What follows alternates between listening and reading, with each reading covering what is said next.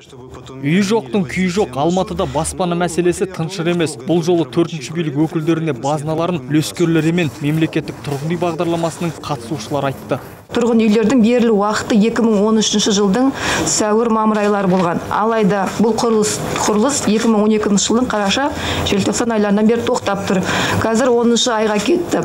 А, осымен тоқтап тұр. Себебін сұрағанда агс пласпен агс пласпен алматы қалалық құрылыс компаниясының арасында біт бітпейтін дау дамайға кеткен. Құрылысы тоқтап қалған мамыр ықшам ауданындағы үйлер осы. Бұл жерге қазақстан тұрғын үй құрылыс жинақ банкінің 375 салымшысы қоныстануы тиіс еді. Алайда президенттің бастамасымен құрылған бағдарламада орындалуға келгенде ақсап тұр.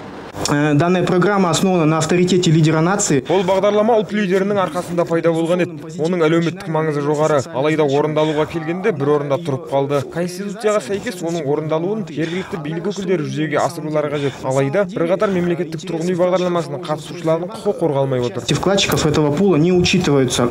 Үш жүзден аса отбасы пәтерімізге қашан қоныстанамыз деп жүрсе құрылысқа жауапты тапсырыс беруші де орындаушы да құрылыс алаңын сот залына алмастырып үлгерген. Құрылыс басқармасының өкілдері мердігерлердің үстінен шағым түсірдіген Ответчик э, заключил с нами договор, был согласен, соответственно, со всеми условиями конкурса и договора.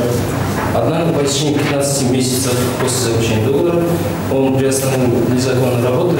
Қарсы жақтың да өз айтар уәждері бар. Шаршы метр дұрыс көрсетілмеген. Сондай ақ бұл нысанды бізден бұрын салған компанияның шығынында бұрыс көрсетілді. Мемлекеттік сатып алу кезінде кеңсеге арналған ғимарат 12300 шаршы метр деп көрсетілген. Ал шынындағы жобаның смета құжаты бойынша ол жерде бар жоғы 1800 шаршы метр. Байқау кезіндегі құжаттағы қателіктердің есебінде бізге баспалдақ көлік тұрағын жерді төлені басқа да нысандарды жасауға талап етуде. Бүгін екі тарапты тыңдап шыққан сот ендігі отырыста үшінші жақ яғни салымшылар өкілдерін тыңдайтын болады. Ал құрылыстың нақты қашан аяқталатыны тапсырыс беруші мен мердігер компания арасындағы іске нүкте қойылғанда белгілі болмақ.